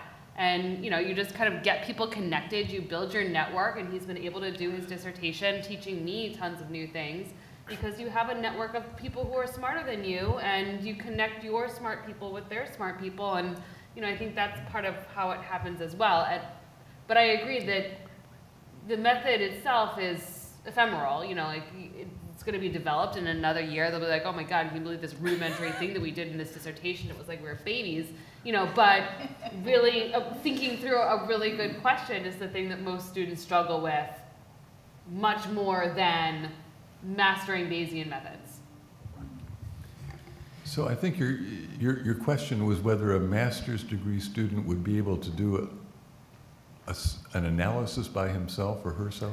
So um, my question is whether either master's or doctoral program um, uh, equips a student with enough quantitative skills to um, let them study advanced method themselves, or, or I would say literacy would be a better, or fitness would be a better word than just skills. So maybe I'm just admitting my own inadequacy, but I don't think I'm in a position to do an analysis by myself. I really depend on my colleagues to help me understand my blind spots. And so I wouldn't encourage anyone. In fact, when I was an editor and I got a single author paper, I was very suspicious. And they were usually terrible. They were usually on the crackpot side because they didn't have that balance of, of criticism that we need to really focus our, our abilities. So I will just want to weigh in just a little bit on this. So, uh, you know, I think one of the opportunities for the students in the room that are doing their doctoral, you know, work and everything like that, is you do have the opportunities to seek out in terms of other coursework and lay that foundation, right? For those of you who are willing to go through and do that Master uh, Health Science and Biostatistics, you can actually at least get the foundation such that if you are going to go to do more advanced methods in terms of needing to be able to learn and actually go to the statistical literature and understand the equations and things like that, you do have that opportunity. But at the end of the day, it comes down to that opportunity cost because when you're pursuing that MHS, what are you giving up in the other time that you could be doing to advance your progress to get through your doctoral program? I just want to actually say one more thing, which is I think there's a there's a big role too for professional societies. I mean, I'm just looking at our current and next president of the Society for Epidemiological Research in the in the room, and you know, at for example, SER, we, every year we have tons of different workshops that specifically teach concrete methods. And so again, it's like if you need a skill, that's much more doable, I think, as a as a discrete entity than a way of thinking, which is what a doctoral program should be teaching you. Thank you. Uh, on this side now, Joe Coresh. For, so first of all, thank you for a wonderful session. I really enjoyed this session. I was sort of stimulated by it. A um, couple of quick questions. One is uh, to Professor Keyes, maybe, but other people could comment. In the lumping versus splitting category, uh, what do you think are the pros versus cons of seeing population sciences as its own discipline versus sitting within epidemiology among many jewels in the crown? Um, I, you know, I do think it depends somewhat on how you define each discipline. You know, the way I think about it and the way I try to lay it out, they seem pretty different. Where, you know, to be a population health scientist, the set of foundational principles that you're guided under are quite different than the principles of epidemiology, which are a little more problem focused and applied. Um, population health sciences I see as a little more theoretical and um, based on just on a different set of principles. And so to me, separating them out is very, was very clarifying to me of where I wanted to build my mm-hmm. career. Mm-hmm. Um, but for other people, you know, I mean, there's a lot of people in epidemiology who have their hat in multiple disciplines. You know, having different disciplines doesn't mean that you have to pick one. Um, but it's just kind of a different set of principles, for me. Yeah, others, because to me, often, I think, right, in some sense, we're a maturing field, uh, maybe not so mature given the nature of the questions that were being asked. I'd like us to sort of, I'd like to think that over time we'd get more powerful in having a voice as an entity. I think there are only so many entities the public can register. And many of us, at least I have over a few decades, done things that are pretty different from each other right? So in some sense, I view this as simulation with a certain perspective. And sometimes we've done different things. You know, the blood pressure things by Rose, population versus individuals, very much took that. So I see that as very much fitting within the paradigm. And it's, I'm not sure any more different than it was molecular epidemiology and then genetic epidemiology and then GWAS and now proteomics and now individualized and not individualized. And my preference has been to say we should do good science and then somehow bring everything under the tent. But I've obviously got a bias. You're a lumper. Uh, I'm a lumper in the service of an answer. Other people are, but then I have another quick question. I failed to provoke. So, so I, I have a, um, an observation, um, which is it was really interesting talking with people who had gone to multiple different schools to find out how different radically different their, um, their courses of, of, study had been. And um, I, I, think there's a lot of variation, a lot of variability uh, from school to school. Now, I'm, a physician, you know, medical schools, I think, you know, they may approach it in different ways, but they're pretty much covering a lot of the same stuff. I think um, epidemiology programs are way more diverse. The other thing that, just on that topic that I will say about sort of population health science is one, one of the impetuses for writing the book was that so many universities were creating population health science degrees. And if you looked at their kind of foundational statements of what they were trying to do with those degrees, it was wildly different. And so it was like, okay, we, you know, it, it's not only that we were wanting to create a new field or anything like that. It was like, this is being done, and no one has set out what the core principles are. And so mm-hmm. let's take a stab at it. You know, if, if it's, no one's done it before, we just get to make it up. And then people can tell us we're wrong, but at least then we have a conversation going. And so one of the reasons why we did the book was to say, here's what we think population health science is and how it's distinct from other disciplines. Maybe we should use this as a starting ground for the, all of these programs that are being developed. I mean, that's neat. And sort of developing an area, communicating it clearly is, I think, incredibly valuable. You can tell I'm making the argument that the tent should be big. Yeah. Um, I, I, think that may relate to a quick question for uh, Professor Ness. Uh, innovative, uh, interesting. None of us showed up naked today, so maybe that's good.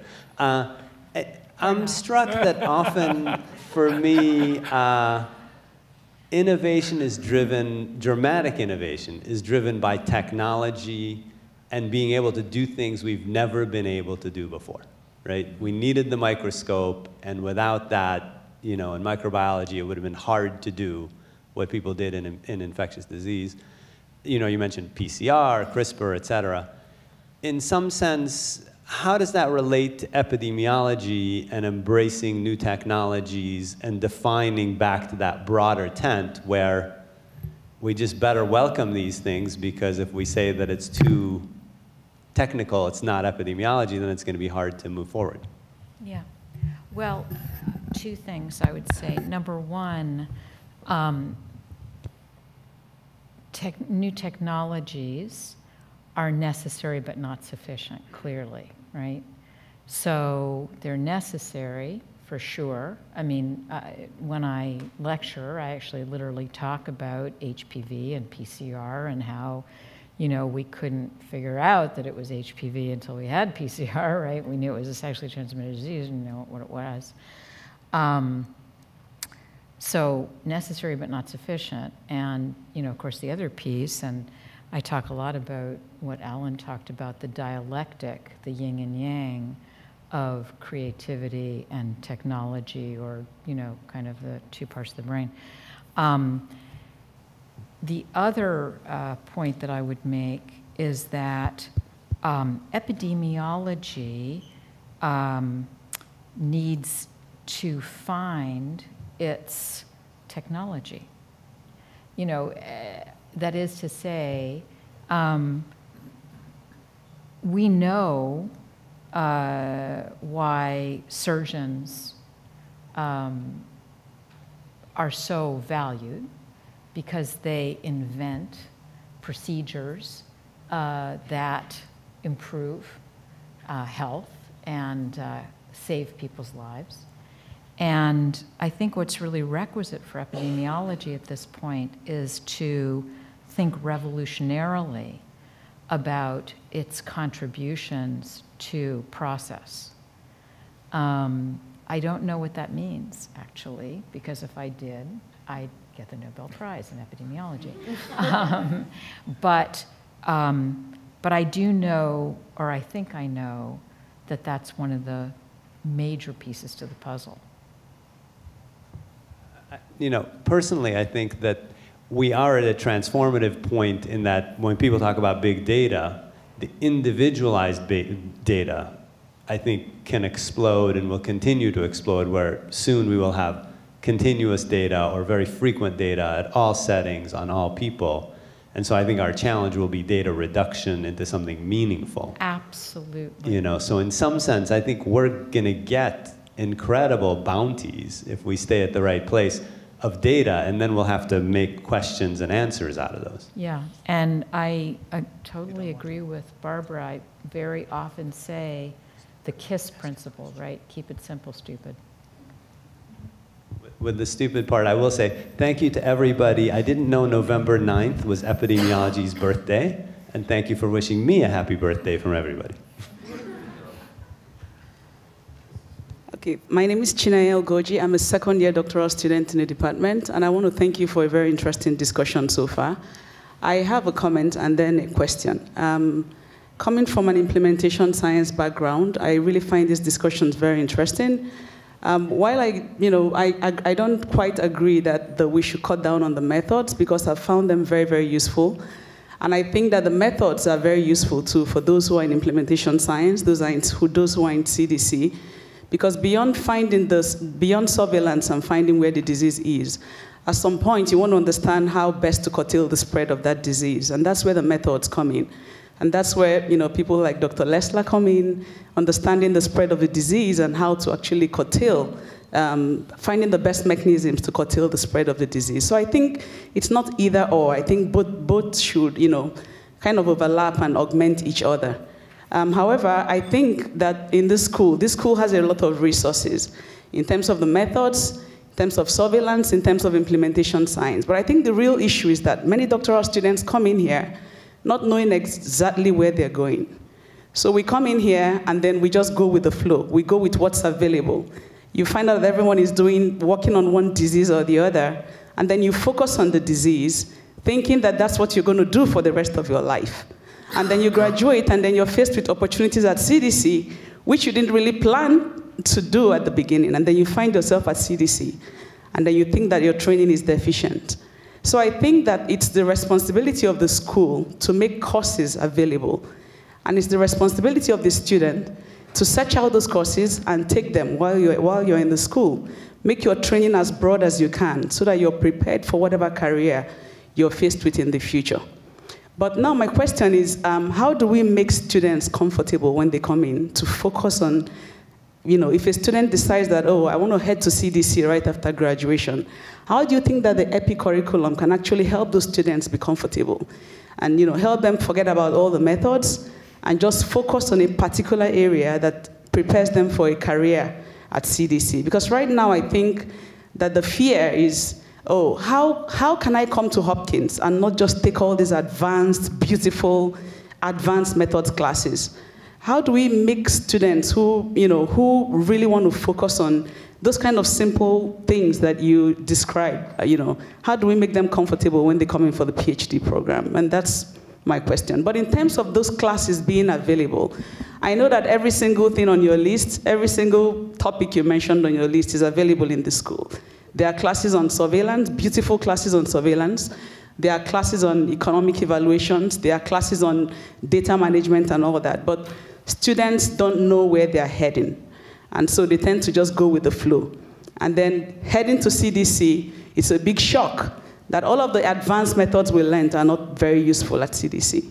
So my question is, how do we make students, you know, come in for a PhD in epidemiology and know exactly that I can be called an epidemiologist and I can be recognized as a good epidemiologist without having to take these advanced classes and just take, you know, head to CDC and be a descriptive epidemiologist? That's my question. Thank you. So could I, I just need to, I have obviously um, made a terrible mistake because I don't want you to not learn uh, methods. I don't. Referring to the recommendation by your students, I mean by your staff, who said they think they think we should cut down on one or two advanced methods courses. They would say if, if they needed, to, if, if for the student who knows they want to come to CDC, how would you fit that in? What they would say would be take one less advanced methods course to fit in my course. Okay, so I, you know, but I, I guess um, I'll turn it over to, to my colleagues to to talk about how do you um, how do you help the student do that. But I, I would think it would be through academic advising and possibly career tracks. Um, and I think a lot of schools do have advice um, along those lines. I'm, I'm not sure what, what how Hopkins approaches that. I, I, don't have the answer to that, but I did want to comment on uh, your comment about uh, methods are important and we, we don't want to stop learning and studying and developing new methods, and I'm totally in agreement. My point is not to say that we should not be studying methods. My point is we should be integrating into methods courses opportunities to teach people how to think clearly about the questions you could ask with those methods. So we're getting close on time, so how about we do one last question? And I think Dr. Martha Werler is the last one. Thank you. Um, yeah, I'm Martha Werler from Boston University, and so my um, question is um, on a, a, different theme, which um, has to do with the possibility that um, in future years that epidemiology as a standalone um, well, department. I'm a chair of a, a department of epidemiology, so um, I very much identify with epidemiology, but within the scope of public health, there are some movements to sort of get rid of these silos within the discipline of public health. Um, and that epidemiology and biostatistics are really tools that are used at the service of public health science. And um, so I'm, I, I, guess I'll just toss that out there. Does anybody have any experience with this? We were just recently um, reviewed by the CEPH um, folks, and you not not overtly stated, but I kind of have the feeling that that's maybe the direction that they would prefer. Does anyone have any experience with this, or am I just paranoid?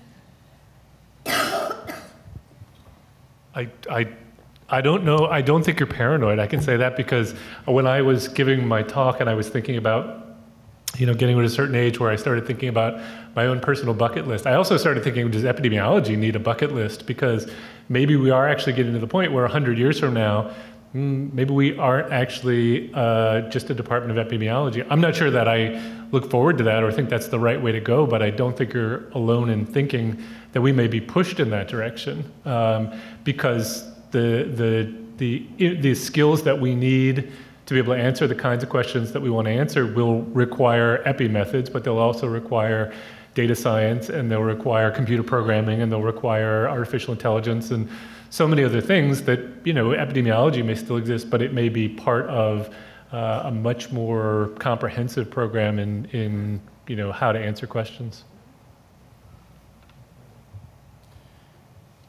So, okay, so I think we should wrap up in the interest of time, and so some of our uh, guests can make their flight. Um, but, you know, some of the themes I think for essentially this whole symposium was to think about who we are as a field and where we're going to be going over the next hundred years, and, and whether or not, you know, we are going to be stay relevant. And really, it's about essentially, we've heard from this session, about asking questions, perhaps using the simplest approaches to answer those questions. We don't necessarily have to go to the most complex methods. It's what can we do to actually address the question in the right way. Um, but you know, the question out there is still, what do we bring to that multidisciplinary table, right? And so the question is, and just as Matt was saying, in terms of maybe we're going to have data science and everybody else and this person and that person in there where are we going to fit in there? Because we do bring a certain skill set, I think, at the end of the day. So, thank you everybody for being with us.